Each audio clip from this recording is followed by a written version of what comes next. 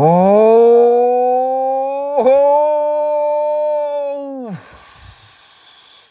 마이크로 마이크로 마이크로!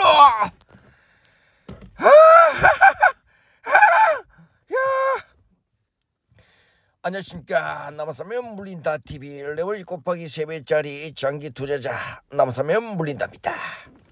자 방금 마이크로 실적 발표를 했습니다 여러분 자 보이십니까 자 매출액은 떨어졌지만 주당 순이익이 예상치보다 상회를 했습니다 마이크로는 실적 발표를 하고 시간 외에 4% 이상 지금 급등을 하고 있는 모습을 보이고 있고요 제가 마이크로 실적이 생각보다 괜찮을 거다 얘기 했습니까? 안 했습니까? 자 마이크로소프트는 지난 분기 주당 순이익이 1.32달러를 기록했다고 밝혔다. 이는 시장의 예상치인 2.29달러를 상향 것이다. 클라우드 컴퓨터 분야의 매출이 전년 대비 18% 급등했다고 시장은 지금 얘기를 하고 있습니다 여러분. 지금 장이 끝나고 마이크로가 급등을 하고 있고요. 자 이것으로 인해 조금 더 상승은 남아있다 저는 이렇게 보고 있습니다 어, 마이크로소프트 어, 역시 stochastic slow 우물에 있기 때문에 이 황색까지는 조금 더 올라갈 거 생각하고 있고요 요 박스권을 탈출할 것으로 저는 보고 있습니다 자 이렇게 빅테크들이 실적 발표가 잘 오면 증시는 또 한 번 상승을 합니다 자 지금 나스닥 차트인데요 지금 전고점을 도파하고 있습니다. 지금 시간 외에 상이지만 너무 기분이 좋습니다. 제가 이렇기 때문에 존버를 하라고 했습니까? 안 했습니까? 실적이 나쁘다고 안 좋을 거다 기망이 차가지고 SQQ 매수하신 분들 피똥 쌀고 있을 겁니다. 내가 매수하지 말라고 했지 않습니까? 아직 아직 스토캐티스로 우물에 오지도 않았는데 잘가 SQQ 잘가 자 FNCD 한강이야 자 됐습니다 자 됐어 이제 다 없다. 아 시간 위에 약간 오르는 모습이 보이고 있고요. FNGU 현재 2.25 상승을 하고 있습니다.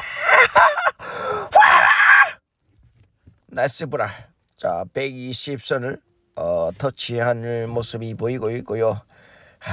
작은 종료가 되기 때문에 시간 외에 어, 상승하고 있는 모습. 어, stochastic slow 70까지 올라갔고요. RSI 68 어, 다소 많이 올라간 상태입니다. 하, 조금 더 올라가야 합니다 여러분 어, TQQ 1.52 상승을 하고 있고요 하라시프라 자 BOLZ 1.23 어, 상승을 하고 있습니다 자 BOLZ는 바닥 대비 많이 올랐습니다 하지만 고점 대비 91바로 참혹하네요. 하지만 레버지 곱하기 3배짜리는 음의 복리도 있지만 올라갈 때 빠르게 회복하는 양의 복리가 있습니다. 이 상태에서 제 계좌를 한번 확인하겠습니다. What the fuck? What the fuck? What the fucking fuck? 자, 지금 마이너스 65.65 마이너스 80%까지 처음 맞았는데 65.65는 상당히 많이 회복이 된 겁니다 여러분 어, 지금 달러 가격이 많이 하락을 하고 있기 때문에 내가 빅테크 실적이 생각보다 괜찮게 나올 거라고 얘기를 했습니까? 안 했습니까? 그리고 빅테크들이 인건비를 절감을 하기 위해서 많은 사람들을 해고를 하고 있기 때문에 실적 영업이익이 괜찮게 놀 거라고 얘기를 하고 있지 않습니까? 제가 경기 침체니 나반이니 이런 말들에 너무 귀를 기울여 가지고 매도를 하지 마십시오. 지금 우리는 그들의 말을 듣고 결국 현금 보유를 하고 매도를 때리고 조금 더 떨어지면 살 거라고 했지만 기회는 오지 않고 오히려 크게 올라가고 있습니다. 자 보십시오 그렇게 매파적으로 얘기하고 금리 인상을 올려야 한다고 씹어렸는데 갑자기 금리 인상 중단을 한다는 이는 언론 플레이가 떴습니다. 개미 사 투자자들이 돈이 다 털리고 나서 현금을 모아놓고 조금 더 경기 침체가 오면 사겠다고 이렇게 얘기했는데 결국 기대와 다르게 증시가 날아가 버리고 있습니다. 자, 개미들이 이렇게 해서 돈이 다 털립니다. 자 마이너스 1이 처맞고 있는 사람이 이렇게 말을 할 자격이 없지만 그래도 저는 버티고 있다는 이 사실을 여러분들께 알려주는 겁니다. 한국에 있는 계좌인데요. 드디어 설이 끝나고 오늘 개장을 합니다. 자 오늘 개장하면 얼마나 회복됐는지 정말 궁금하고 긴장이 됩니다.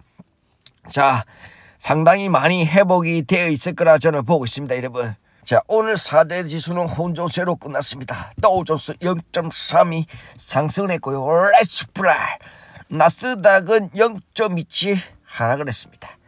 아 씨부랄 진짜 아쉽다. 건전한 조정이라고 생각하고 있고요.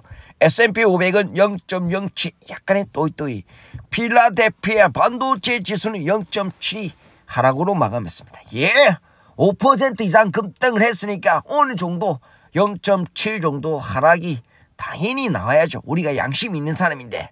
내일은 테슬라 실적 발표가 있고 그 다음은 인텔하고 비자가 실적 발표를 하는데 저는 생각보다 괜찮게 놓을 거라 생각하고 있습니다. 자 테슬라는 지금 빠게셀 20% 넘는 할인을 하고 있고요. 중국이 지금 어, 제로 코로나 완화로 인해서 수요가 살아나고 있기 때문에 어, 테슬라가 가이던스가 좋게 나오지 않을까 생각하고 있고요. 지금 달러가 많이 하락을 하고 있기 때문에 역시 테슬라가 영업이익이 생각보다 저조하게 나올 수가 없다. 저조하게 나오더라도 가이던스가 좋게 나올 거라 생각하고 있습니다. 그리고 테슬라는 직원들을 최고 먼저 해고를 했기 때문에 생각보다 영업이익이 괜찮게 나올 수 있다. 자 인텔하고 비자도 똑같습니다 여러분.